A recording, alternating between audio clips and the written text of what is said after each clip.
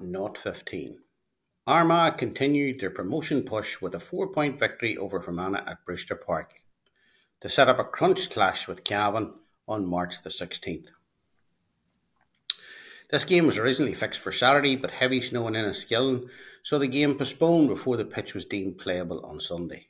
My own memories of Brewster Park were that it was always a heavy pitch, so the weekend weather conditions didn't help recording attractive football.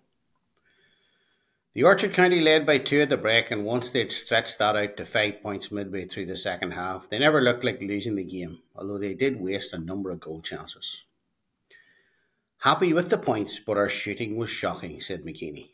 I think we left a lot behind us. Fermanagh are tight at the back and they keep that and then look for mistakes and break. But we probably missed 2 5 to 2 6 in the first half and more or less the same again in the second half. Fermanagh will stay in games, they're tenacious and they work extremely hard. Armagh started the game brightly as Blaine Hughes and Connor Turbitt registered points before Andrew Murnin then blasted a goal chance over the bar. Turbitt was the next to a side a goal, but his effort was saved by the Erne goalkeeper Ross Bogue. The home side settled to the task after this, and Conor McGee, Declan McCusker, and James McMahon all rattled over scores from distance to put them not 4 to not 3 in the lead at the 19th minute.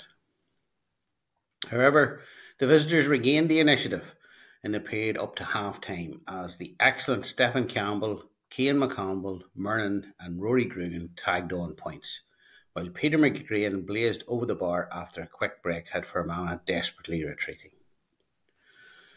Conor O'Shea did fire over a late point for the Ironmen to leave it two in it at the half time break, not eight to not six. The gap was back to the minimum at the start of the second half as Ultan Kelm clipped over a free. It was over the next period that Armagh tightened their grip on the contest as that extra bit of quality they possessed shone through. Turbitt, Grugan, Murnin, and Campbell were all among the points as Armagh pushed the gap out to five, and that advantage could have been greater as another break had from Rambling. Cornerback Paddy Burns carried the ball deep from deep in his defence as Bogue raced to get back to his goal, but Burns shot wide of the post. Fermanagh continued to battle and Sean Cassidy slotted over a free while Garvan Jones converted a mark to leave three in it, not 13 to not 10 inside the final 10 minutes. However, Campbell rattled over his third point from play before Hughes drilled another 45 to ensure that Armagh returned home with the points. A third successive defeat for Fermanagh has left them in a battle at the bottom of the table, and manager Kieran Donnelly says they will have to take points and positives from the key games against Louth and Cavan.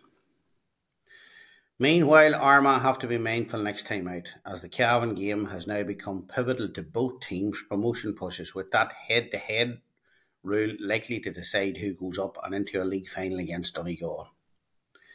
They will certainly need to be more efficient with their shot taking against a Cavan side that has improved incrementally as the league has progressed and have developed the knack of coming back strong at teams in the final quarter of games.